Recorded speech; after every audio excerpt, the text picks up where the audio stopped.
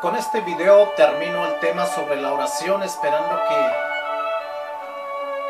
que si llegaste con alguna duda, pues en el transcurso de los cinco videos te hayas despejado algunas de ellas.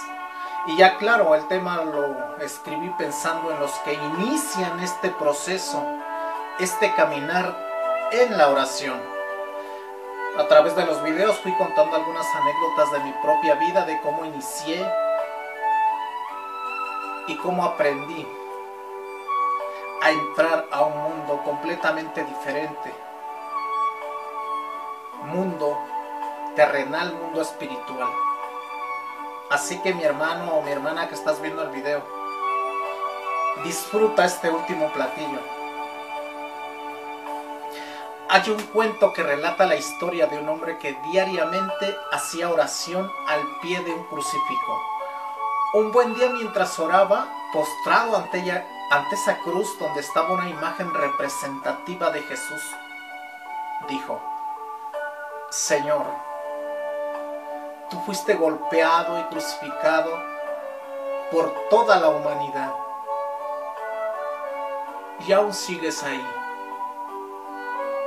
déjame ocupar tu lugar, quiero estar en la cruz para que tú descanses. Se hizo un silencio. El hombre cerró sus ojos, levantó su rostro como esperando una respuesta.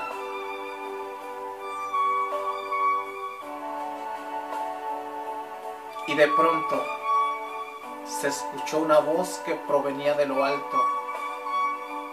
Gracias, hijo mío. Tus palabras me han conmovido y por eso cumpliré tu deseo de sustituirme en la cruz. Pero que quiero que tengas muy en cuenta que no será fácil.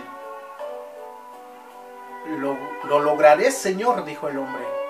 Te lo prometo. No tendrás queja de mí. Bueno, entonces dijo la voz, pon mucha atención a lo que voy a decirte. Al momento que yo baje de la cruz, tú ocuparás mi lugar. Pero pase lo que pase, no te muevas, no hables. Sí, Señor, así lo haré, respondió ese caballero. Y el cambio se hizo. Jesús bajó y aquel hombre subió a la cruz. Cuenta la historia que durante muchos, muchos años aquel hombre cumplió su palabra de no moverse, no hablar, a pesar de ver infinidad de hechos que pasaban en el interior de aquel templo. Una tarde entró un varón vestido muy elegante, llegó ante el crucifijo y se inclinó para hacer oración. Minutos más tarde se levantó y se marchó. El hombre que ocupaba el lugar de Jesús en la cruz se percató que olvidaba un portafolios negro a un lado de la banca. Al poco tiempo entró un, indigente y al ver que no había nadie, tomó la valija y se fue. Tiempo después también entró un joven a orar y mientras lo hacía, entró nuevamente el hombre que había olvidado el maletín. Al ver al muchacho y pensando que él se había adueñado de sus portafolios, le pidió se lo devolviera. El jovenzuelo, sin entender lo que pasaba, negó haber tomado algo, pero aquel individuo estaba descontrolado y empezó a golpearlo. De pronto una voz resonó en aquel recinto. Basta, no lo golpees más. El hombre vestido elegantemente alzó la vista sorprendido y vio que la imagen de Jesús en la cruz le hablaba. Sin saber qué hacer y asustado por lo que estaba escuchando y viendo, solo atinó a correr y a salir de aquel lugar el muchacho también se había marchado ya. Cuando todo volvió a la normalidad, Jesús apareció y se dirigió al sustituto con voz de reclamo al momento que le ordenaba, baja de la cruz, no eres apto para seguir ocupando mi lugar. Pero Señor, no podía permitir tal infamia. Baja de la cruz para que podamos seguir hablando. El sustituto bajó y Jesús volvió a ocupar su lugar en la cruz. Y hasta ese momento siguió hablando. Tú ignorabas que aquel hombre vestido de traje es una persona muy rica y además se dedica a traficar con jovencitas. En el portafolio traía el dinero que más tarde pagaría por la virginidad de ellas. El indigente, por otro lado, necesita mucho de ese dinero, pues así podría comprarse ropa, alimentos y muchas cosas más. Con referencia al joven, si hubieras dejado que lo golpearan un poco más, sus heridas no hubieran permitido marcharse, puesto que vino a este lugar a dar gracias por un viaje que iba a realizar. El avión en el que iba hace unos minutos se desplomó y él murió. Tú no sabías todo esto, pero yo sí sé todo lo que pasará y lo que no. Y Jesús cayó para siempre. Muchas veces, mis queridos hermanos, le decimos a Dios cómo hacer su trabajo, como si Él fuera nuestro sirviente. Él puede demorar en sus respuestas, pero sabe por qué. Siempre hay un propósito. El dedo de Dios no se mueve a la ligera. Recordemos que Dios es perfecto, mis hermanos. Y aparte, es un Dios justo. Hay una historia bíblica muy, muy hermosa que puede ayudarte a comprender que aún en los momentos en los que parece que Dios se olvida de nosotros, no es así. Eso parece desde la perspectiva humana, pero no de Dios. Y Jesús no llegó, mi hermano. En el libro de Juan capítulo 11 se narra una de las historias más hermosas de este Evangelio, por lo menos en lo personal así me parece, por la enseñanza que nos regala. Dice que Marta, María y Lázaro eran amigos de Jesús. En el versículo quinto encontramos literalmente dice, y amaba Jesús a Marta, a su hermana y a Lázaro. El día que Lázaro enfermó gravemente, sus hermanas hicieron lo que comúnmente cualquiera hubiera hecho. Enviaron una nota urgente a Jesús. Decía, Señor, he aquí el que amas está enfermo. Y desde luego quiero imaginarme que siendo amigas de Jesús, no tenían la menor duda de que Él acudiera a su llamado. Pero sucedió que Jesús no acudió. En el versículo 6 dice que después de que Jesús se enteró que Lázaro, su amigo, estaba enfermo, permaneció aún dos días más en el lugar donde se encontraba. Y los días pasaron en espera, mientras Lázaro enfermaba cada día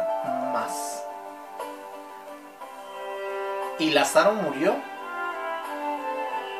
Y el amigo que lo amaba nunca llegó. Marta y María debieron haberse sentido completamente solas, desesperadas, y preguntándose lo mismo que muchas personas en el mundo en algún momento. ¿Dónde estás Dios? Jesús, que dices amarnos, que eres nuestro amigo, nuestro auxilio, que eres amor, vida, luz. ¿Dónde estás? ¿Acaso te has olvidado de nosotras? Jesús llegó después de cuatro días de la muerte de su amigo Lázaro. Si tú has pasado por algún momento así parecido, si has perdido a un familiar querido como sucedió con Marta y María, Jesús tiene unas palabras para ti. Él dice, yo soy la resurrección y la vida. El que crea en mí no morirá para siempre. Juan capítulo 11 versículos 25 y 26. En aquella ocasión Jesús le hizo una pregunta a Marta y te la dice hoy a ti, nos la dice a todos. ¿Crees en esto?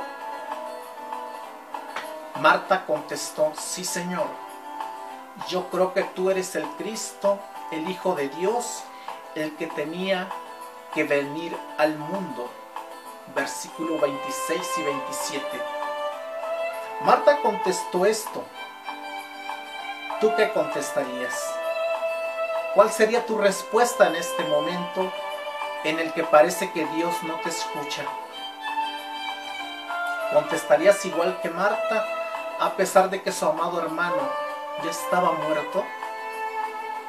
No resulta fácil creer en Dios cuando ante nuestros ojos se está derrumbando todo. Pero en esto debes, en esto consiste la fe. Sin embargo, como lo he dicho, para poderlo comprender, por lo menos en parte, debemos estar en un plano espiritual, pensando como simple mortal, no va a suceder. Dios nos ha dejado promesas muy hermosas a través de sus profetas. Promesas que en los momentos difíciles olvidamos, dado que hay un enemigo que también está ahí siempre acechando en nuestras vidas. Y este se alegra cuando le damos la espalda a Dios, cuando entra la desconfianza, cuando perdemos la fe.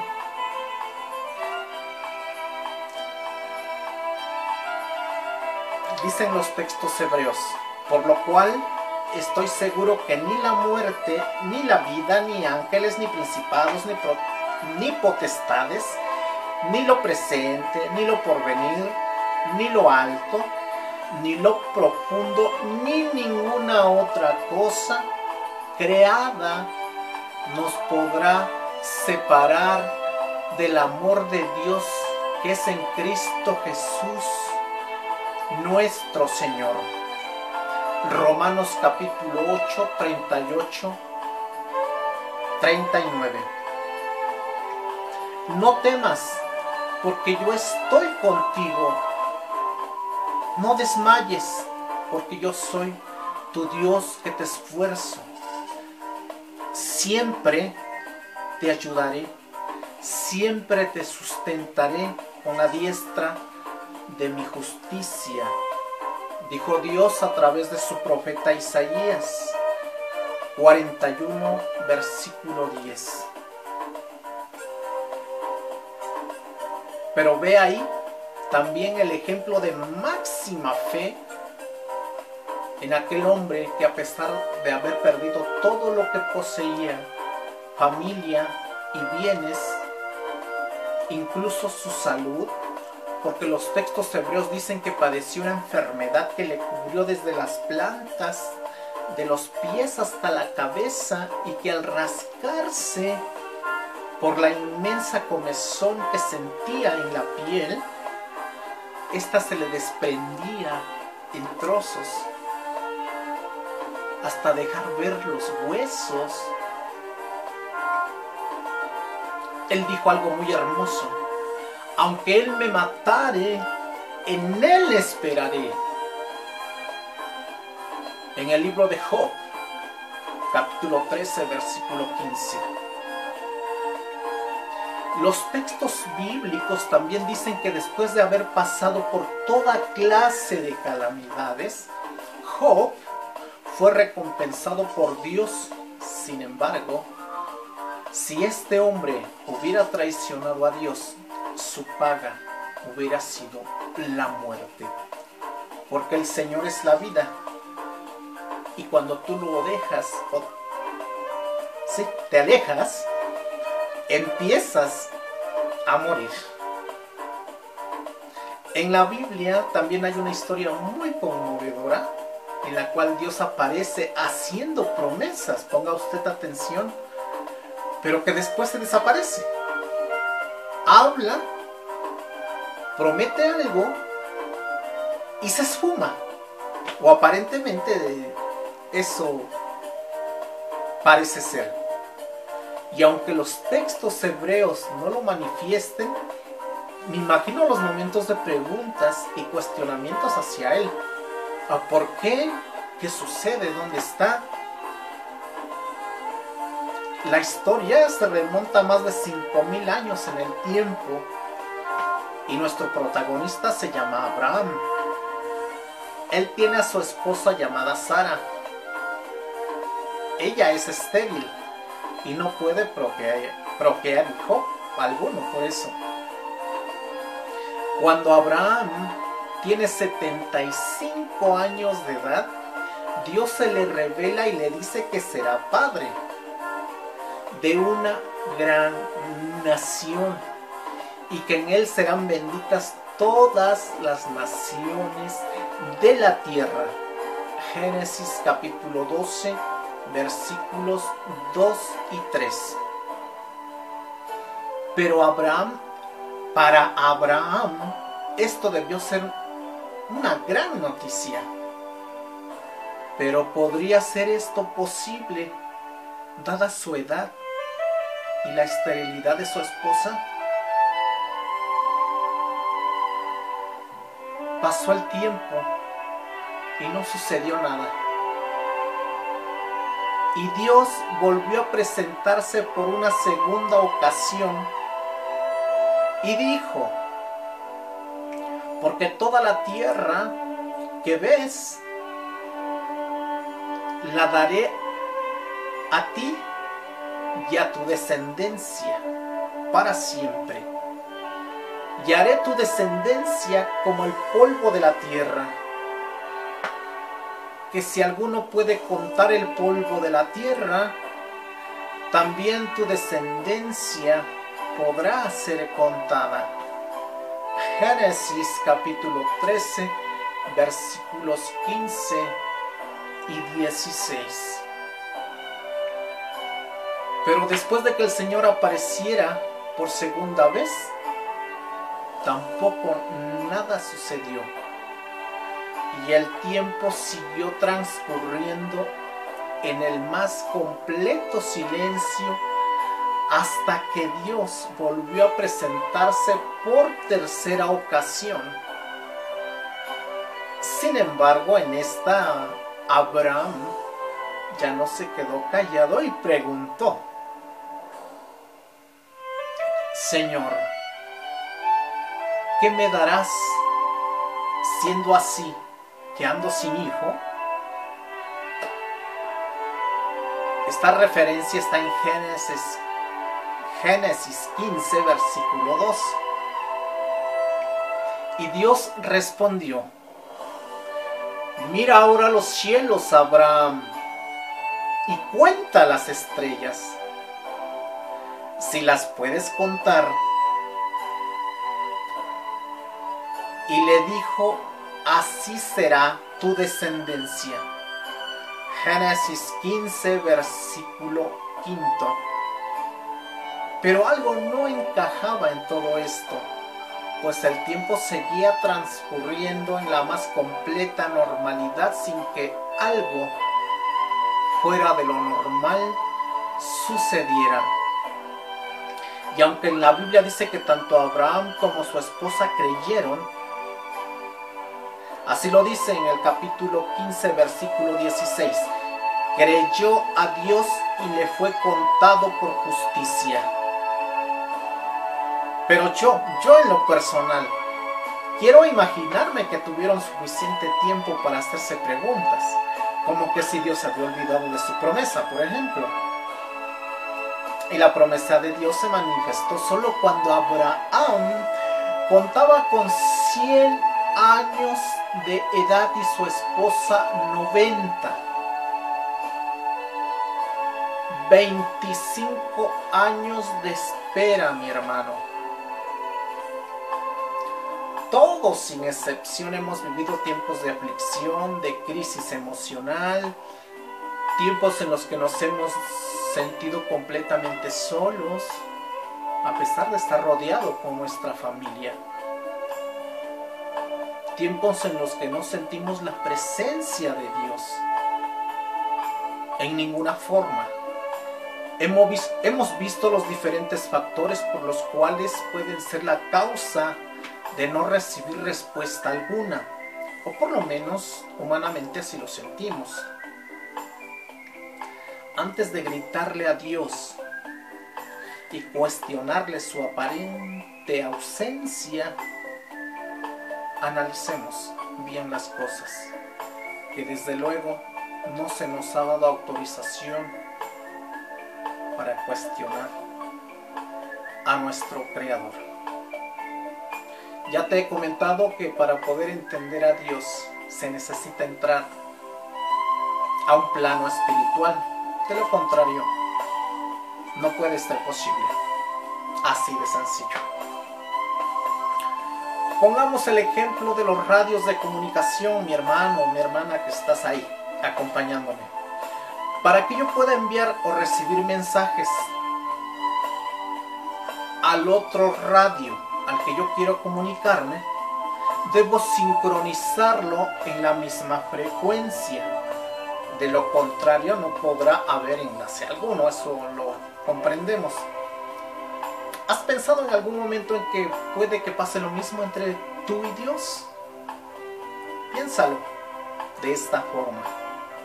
Puede que estés en otra frecuencia y que Dios te esté enviando señales, mensajes a diario, a todo momento.